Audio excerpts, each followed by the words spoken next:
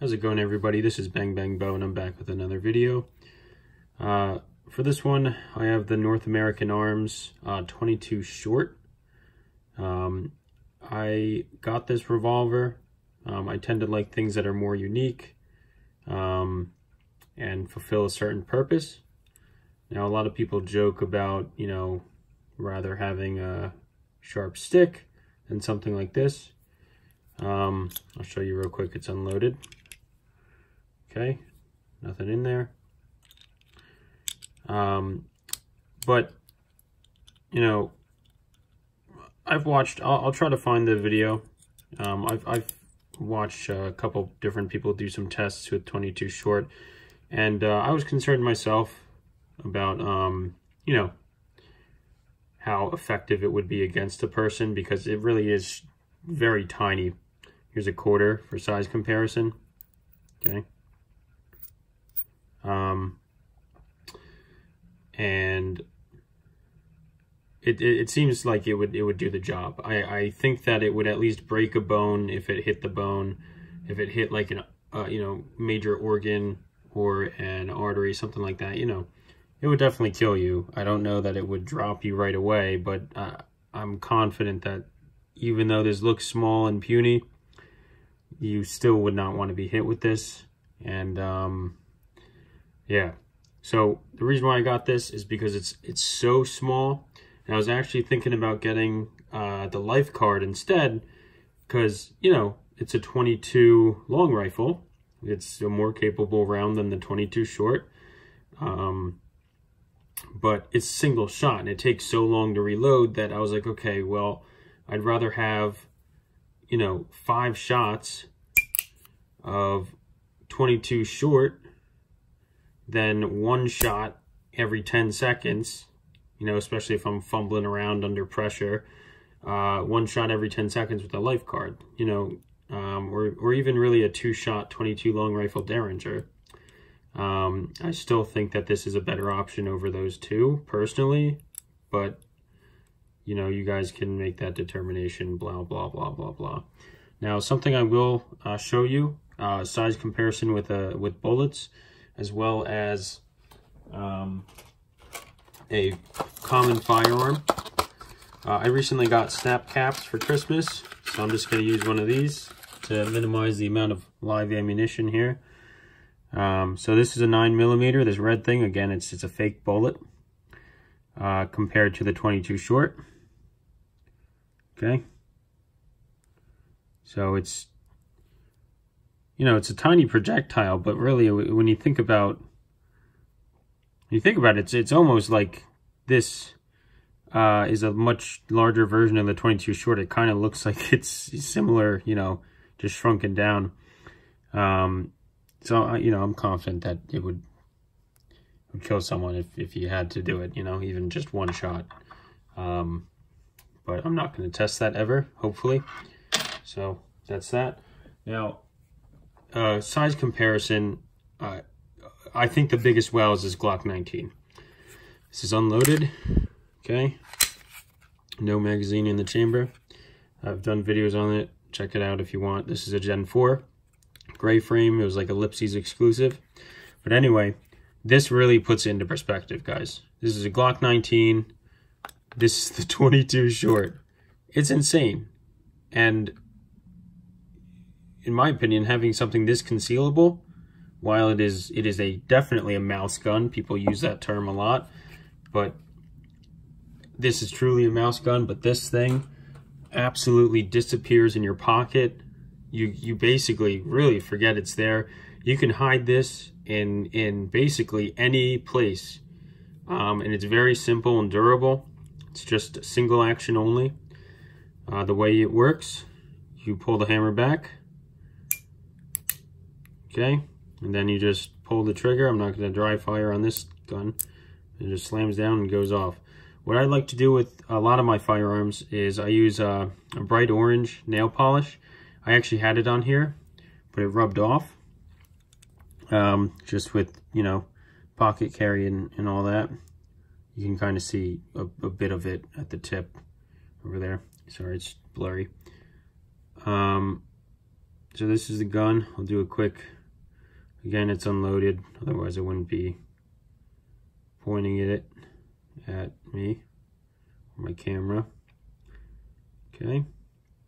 You can get different grips. There's uh, even some custom grips on like Etsy and, and other little uh, like eBay, stuff like that. You can get like pearl ones and all that.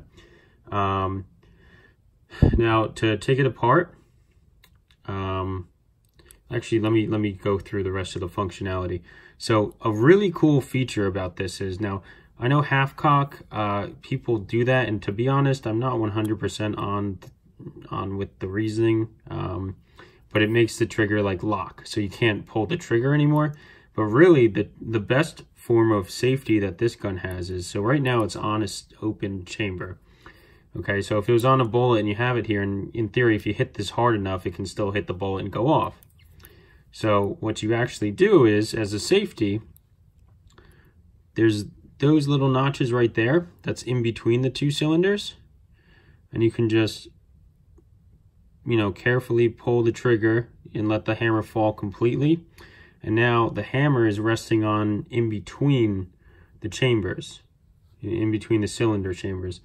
Um, now, of course, you know, if you hit something really hard on, on the rimfire here that's exposed, it can go off. But that's, that's really like any revolver, I, I guess.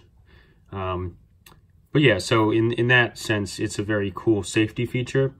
And even cooler is when you pull the hammer back, it kind of, it does like this weird thing. It kind of rolls back on itself.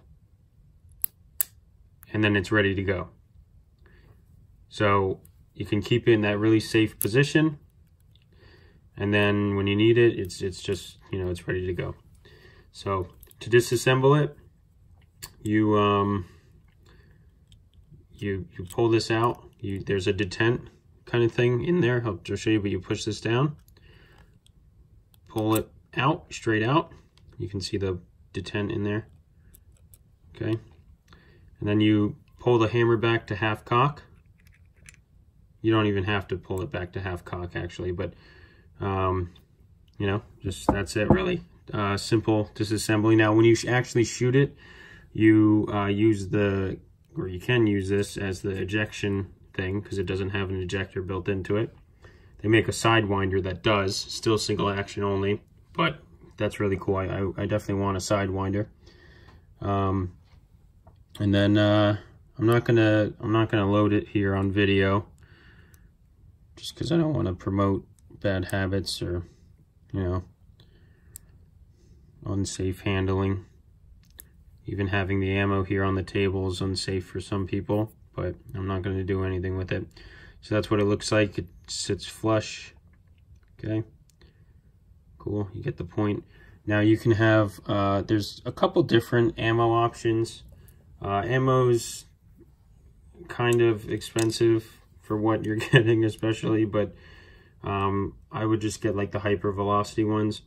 I've shot the, just so that it has what, you know, what as little as a bullet is, and admittedly it's a weak cartridge, but especially by literally almost anything else, um, except I suppose a two millimeter pinfire.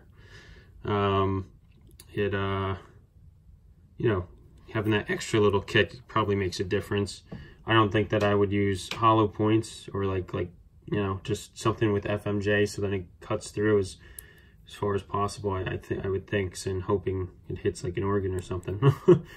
um, you know, God forbid you had to do that but that's that's really it. Um, it's a really cool gun.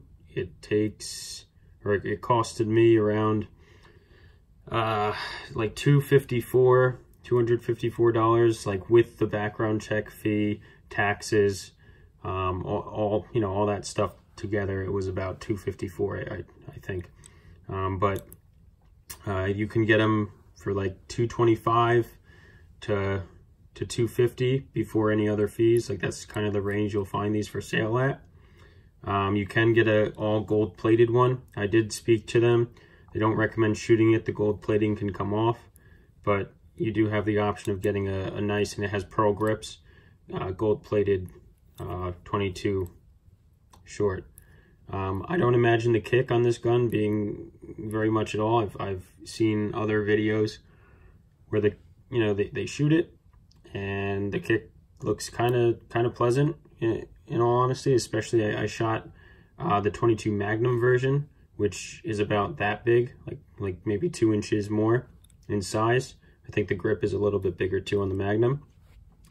Some people, you know, will argue that, you know, you should just have the 22 Magnum if you're going to get this. But in my opinion, like I said, it's so small that you can put this literally anywhere. And it's going to fit somewhere, a couple extra places that the 22 Magnum or 22 long rifle version wouldn't.